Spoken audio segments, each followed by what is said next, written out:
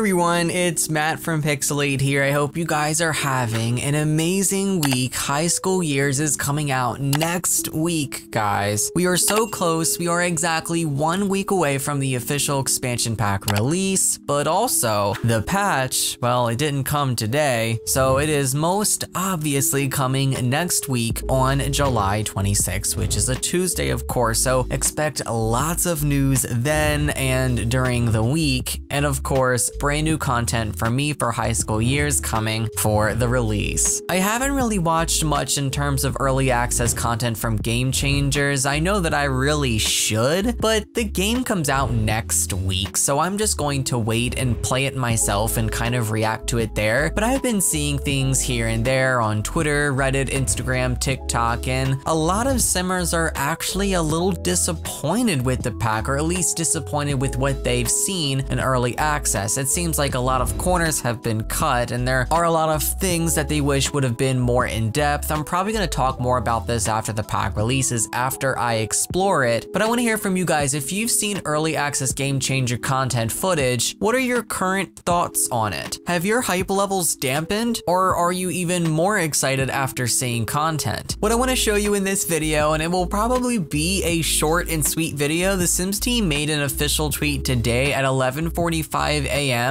showing Copperdale High School yearbook. Now, like I said, I haven't seen any early access footage, so I don't know if this is something that's in the game or not. Based on things you guys have seen if you have watched early access content, is there truly a yearbook in the game or is this just something for marketing purposes to sell the pack? Either way, I love this. I think this is adorable. You can see Bob Pancakes back when he was in high school. When is this due again?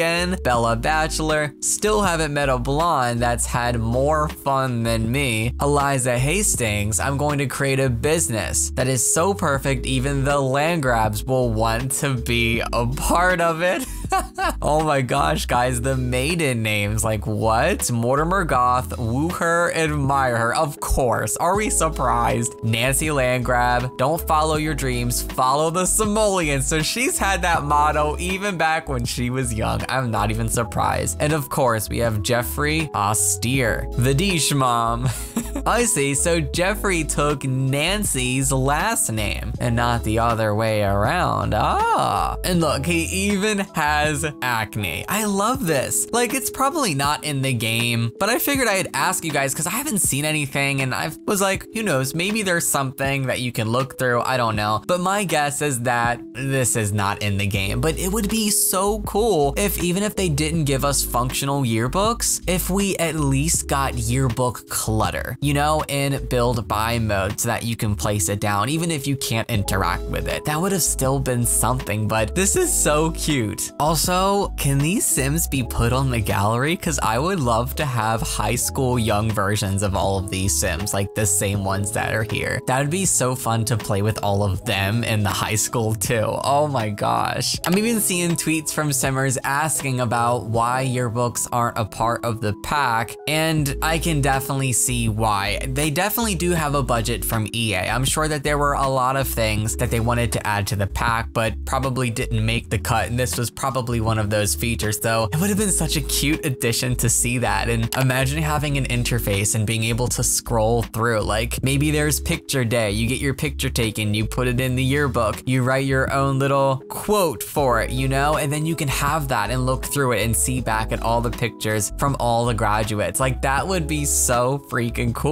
Somebody even pointed out how young Eliza looks like LilSimsie, and I can totally see it. I wonder if there was definitely a connection in terms of inspiration there because we all know they named the cow plant after her in the game, so I wouldn't be surprised if this was a nod to one of the biggest, if not the biggest, Sims YouTuber. It would be pretty cool in the future maybe to see modders or custom content creators give us not just yearbook clutter, but maybe even functional yearbooks to where you can take pictures that you took in game and actually create a yearbook that your Sims can read in game. Like that would be so cool. I don't know. I'm only just dreaming at this point, but that's gonna be it for this video. I wanted to show you, I thought this was so cute in case you guys don't have Twitter or don't use social media. I love you. Thanks for watching. I'll see you all next time. So long and happy simming. This video was brought to you by my supporters on Patreon. Thank you guys so, so much for your support. If you'd like to join my community over there, a link is below. Thank you for watching.